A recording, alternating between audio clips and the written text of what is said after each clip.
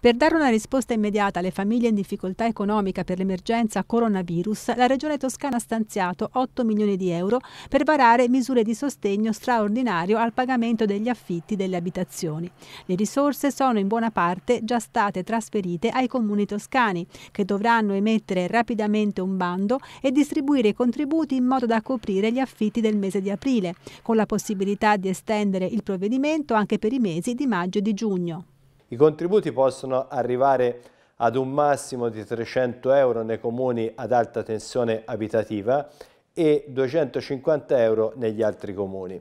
In entrambi i casi però non potranno eh, superare il 50% del costo dell'affitto. Potranno presentare domanda le famiglie di lavoratori dipendenti o autonomi che hanno un reddito certificato ISEE 2019 inferiore a 28.600 euro, attestando che l'emergenza coronavirus ha ridotto il loro reddito di almeno il 40% rispetto allo stesso periodo dell'anno precedente.